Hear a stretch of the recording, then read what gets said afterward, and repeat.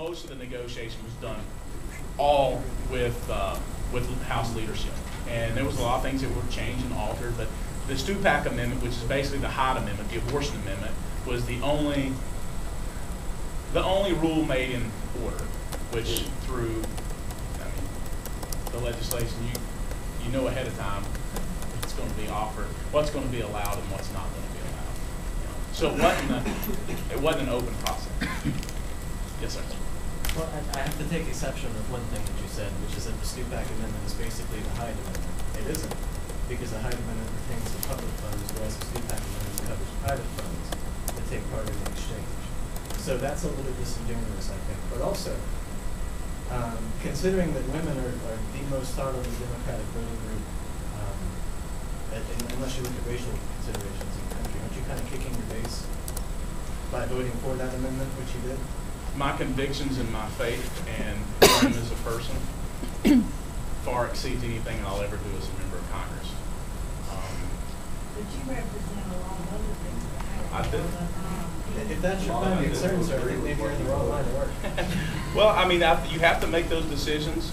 There wasn't a single person in this district that didn't know my stance on abortion from the very beginning, how I voted.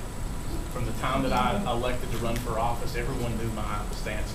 And anytime there are federal funds that are actually going, and there are subsidies within those, uh, those areas, and along with the Congressional Budget Office, along with the Speaker's Office, all of them indicated that there are federal funds that actually go to, to uh, those independent, those uh, insurance companies. So it's not along, along with private funds, but there are federal funds that are actually going to those to subsidize people's health insurance. So there, in effect, basically says by the law that we have, the Amendment that's put in every single uh, appropriations, okay? Every year we go through the same exact process. When it goes and it's put into effect, you know, it's kind of funny that people now just want to talk about it. Uh, and it goes in every single year. And we've all voted on it or against it, however people perceive it. And some people will vote, they'll vote for their appropriations, but they won't vote it as a standalone. And as we well know, we saw what happened, and it was overwhelming majority, an overwhelming majority of the House actually voted for the, the legislation. And, you know, I mean, at some point in time, uh, you know, uh, when I'm out of office and I have to look at how I voted on, on, on particular issues and when it comes to the way I was raised and who I am as a person, that particular issue will always be the way I vote. People knew that before I was going into office. Congressman, you you don't want to be Yes, sir. waiting. Yes. You talk about senior citizens and the cost of health care. Prescription drug costs is- are, are phenomenal. They're going through the roof exponentially. Yep.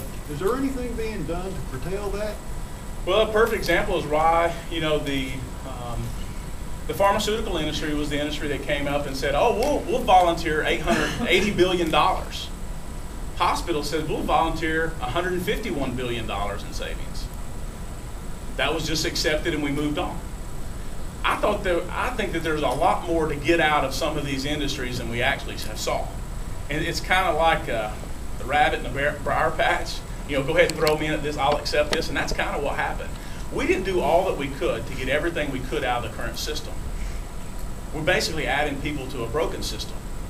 You know, we're rewarding people for, uh, on the provider side of just running test after test after test after test when we need to be looking at outcome, outcome, outcome. And that's how some other places, you know, fee for service is the perfect example of, for, of that. That uh, the more fee services that you provide, the more fees that you get. Therefore, the more money that you make. Uh, Has Congress looked at, the, the follow-up, has Congress looked at why these pharmaceutical companies that ship their product to another country charge a lot cheaper rate than they do inside the Oh, sure. States? Now, remember, the pharmaceutical company actually was in favor of this. Pharma was actually in favor of this legislation. So don't forget that. There's reasons why. Yes, sir. I was wondering if there's any steps toward, I mean, uh, uh, research and other alternative energy resources. Yeah, actually, um, um, through a lot of things uh, that has been done, our energy bill that we passed recently, uh, more renewables, sustainables. Um, a lot of money is being spent based upon the research. What we need to do is get to the second and third generation of uh, solar panels. You know, we're still in that first series or generations, and we need to get to the next generation of solar panels. A lot with the wind turbines is another example of a lot of funding that's going to go in research from our carbon footprint. That money will be able to go, those people who use too much, it has a bigger carbon footprint, will obviously go to be able to define this research to make us more independent from our, from, in a lot of different, in a lot of ways, our enemies in the Middle East, make us more independent, secure our country, and to ensure that, that we're more long-term sustainable, have renewable energies, and that we don't, we have the diversity within our um, utilities. Uh, You know, even the uh, utility companies are starting to come out with some ways of, uh, of lowering the health, uh, lowering the cost of utilities based upon their incentives. You know, I mean, you know, we kind of did this, you know, uh, it's, this is the one of the things I stress on the healthcare side of it too. Utility companies can't arbitrarily increase your energy bill, right? But guess who can? The insurance companies can arbitrarily increase your rate. We all see how those premiums have continued to escalate year after year after year.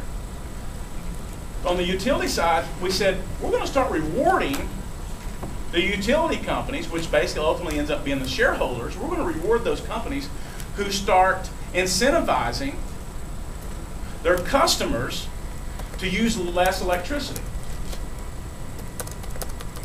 So we're going to reward you for using less electricity. So now, Progress Energy is a perfect example. They're spending a half a billion dollars over the next five years in this area, and and to be able to lower the cost basically through weatherization, new lights, weather stripping, caulking, insulation, new windows. They're going to be able to utilize that. Why can't we take that same approach? And which is I've continued to ask our leadership in house. Let's take that same approach that we took with the uh, utility companies. I mean, look at the antitrust agreements that the uh, that the uh, that the insurance companies have in this state.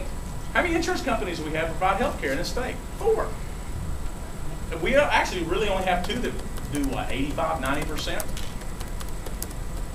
You know, we fixed it so they have been they're in the fix. They can do whatever they want to. So why don't we reward people? Let me let me. Here's my example of that. Anybody here uh, qualify for uh, cash for clunkers? Anybody do cash for clunkers? Not a single soul in here did cash for clunkers. you did. All right. Your family did. Okay. So you rewarded what forty-five hundred dollars to, to turn in your car, right? I'm not singling no one out, okay? But probably they got a loan to get the vehicle, right? So people for forty-five hundred dollars, what went twenty to thirty thousand dollars deeper in debt. Now think about that. For forty-five hundred dollars, you went deeper in debt, right? So which is more important, an automobile or health insurance? Health insurance is more important, right? Right? For $4,500, they went deeper in debt. And sometimes for five to seven years, depending upon how they, they structured their loan. So why can't we take those same examples in the health insurance industry and reward people for successes? The Asheville project in Asheville is the perfect example of what they've been able to do. The Asheville project has been going on since 1997, and here's what they said. They took their employees and they said, we have a huge amount, our health insurance continues to increase. And we looked at the actuarial data and said that those with diabetes are costing us the most money. That's costing us as, a, as not as a company, but as a city, it's costing them the most money. So how can we lower those healthcare costs in the highest cost that's, that we're having to pay for?